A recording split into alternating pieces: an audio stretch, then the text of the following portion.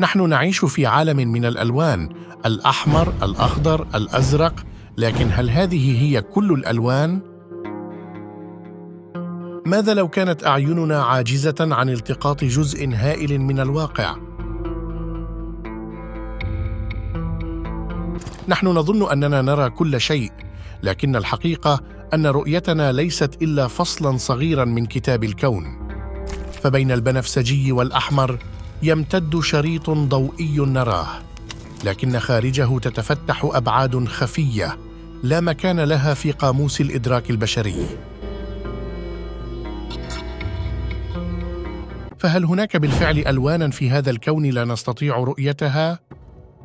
وكيف ترى الكائنات الأخرى هذا العالم؟ وهل يمكن للعلم أن يمنحنا القدرة على تجاوز حدود أعيننا والقدرة على رؤية كل الألوان في الطبيعة؟ في هذا الشريط بحول الله سنغوص معا في أعماق فيزياء الألوان. نستعرض ما نراه وما لا نراه ونتأمل في أسرار الإدراك بين العلم والروح والفلسفة. رحلة تبدأ من العين وتمتد نحو حدود الوعي فتابعوا معنا.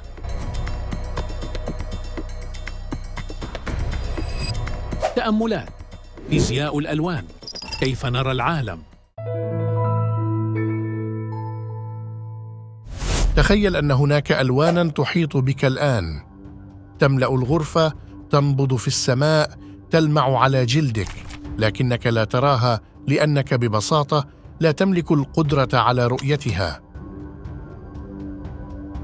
نحن نعيش في فقاعة ضيقة من الطيف الكهرومغناطيسي لكن ما لا نراه أعظم بكثير مما نراه.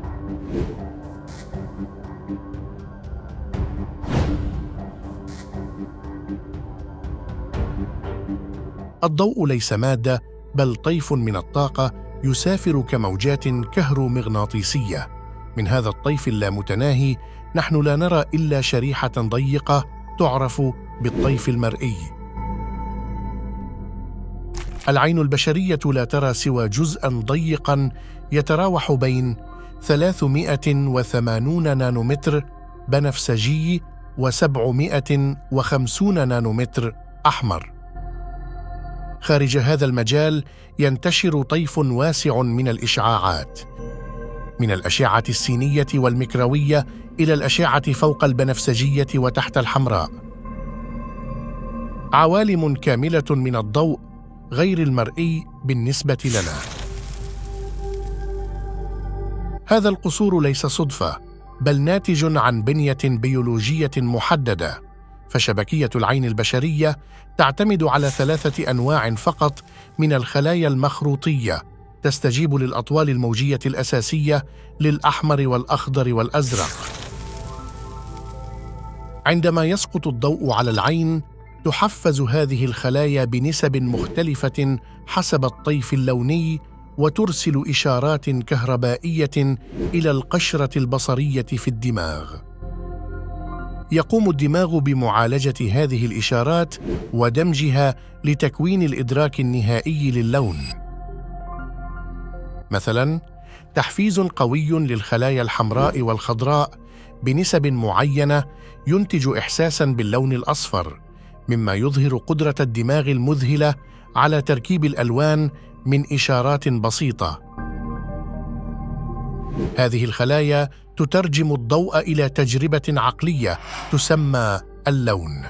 وهي تجربة ذهنية خالصة لا تعني أن الألوان موجودة فعليا في الأشياء بل هي نتاج تفاعل الضوء مع وعينا. من هنا ندرك أن إدراكنا اللوني ليس انعكاسا للواقع بل مجرد قراءة جزئية للكون بلغة حسية مشفرة تفرضها حدود أعيننا ودماغنا. حسب دراسة نشرتها مجلة نيتشر عام 2014 البشر يرون حوالي مليون لون لكن هذا جزء صغير فقط من الطيف الكهرومغناطيسي الكوني.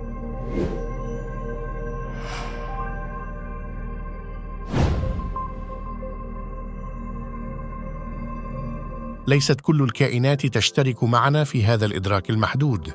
فالحيوانات الحشرات الطيور والأسماك كل منها يرى الكون بطريقة فريدة وفقا لبنيته البصرية. الطيور مثل الحمام والنسور تملك خلايا مخروطية رباعية أو خماسية ما يسمح لها برؤية ألوان تقع في نطاق الأشعة فوق البنفسجية. فتفتح أمامها اطيافا لونية لا يتصورها العقل البشري.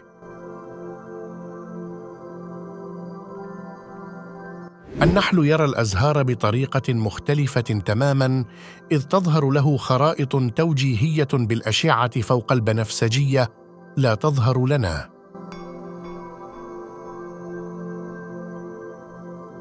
أما الفراشات فترى عالما مغمورا بألوان متعددة الطبقات بفضل رؤيتها الطيفية الواسعة. بل إن بعض أنواع الروبيان السرعوف تمتلك أكثر من إثنى عشر نوعاً من الخلايا البصرية. أما في أعماق البحار حيث يسود الظلام فترى بعض الأسماك الأشعة تحت الحمراء وكأنها تملك نظارات حرارية طبيعية.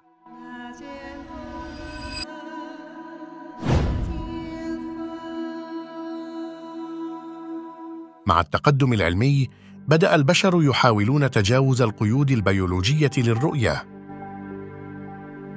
أجهزة الاستشعار الكهروضوئية والنظارات المتخصصة والكاميرات الطيفية باتت تمكن الإنسان من رؤية الأشعة تحت الحمراء وفوق البنفسجية. أحدث التجارب من جامعة ستانفورد سنة 2023 حيث طورت عدسات نانوية قادرة على كشف الضوء فوق البنفسجي عند تركيبها داخل نظارات طبية. وهناك أبحاث على زراعة مستقبلات ضوئية اصطناعية في شبكية الإنسان لتحسين أو توسيع مدى الطيف المرئي. كما يقوم الذكاء الاصطناعي الآن بمحاكاة رؤية الكائنات الأخرى عبر تحويل الصور الرقمية إلى ما قد تراه الحشرات أو الطيور. وهي خطوة نحو تفكيك مركزية الإدراك البشري. لكن كل هذه الابتكارات تعيد طرح سؤال جوهري. هل التوسيع التكنولوجي للرؤية يعادل التوسيع الحقيقي للوعي؟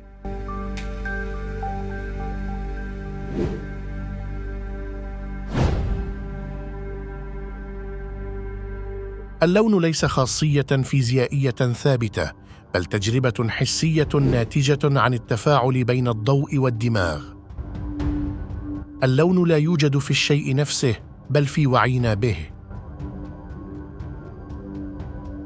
من منظور فلسفي كما قال إيمانويل كانت. نحن لا نرى الأشياء كما هي بل كما نحن. وفي علم الأعصاب اللون يفهم على أنه ترجمة إدراكية للذبذبات الضوئية. الصوفيون تحدثوا منذ قرون عن أنوار لا ترى بالعين المجردة بل بالبصيرة كأنما يدرك القلب اطيافا لا تسكن في الطيف الكهرومغناطيسي بل في الطيف الروحي. وهكذا يصبح اللون أكثر من إحساس يصبح بابا للتأمل في حدود الذات وفي العلاقة بين الإدراك والحقيقة. يقول كارل يونغ اللون هو لغة الضوء ونحن فقط من يقرأ هذه اللغة بنمطنا البشري.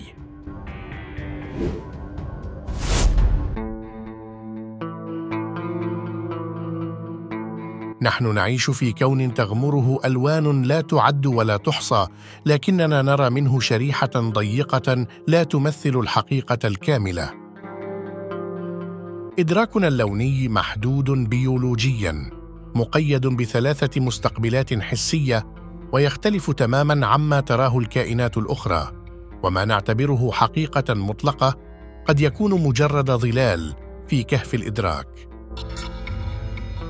لكن ربما تكمن قيمة هذا الإدراك في أنه يدفعنا إلى التواضع فالحقيقة ليست ما نراها بل ما نعجز عن رؤيتها.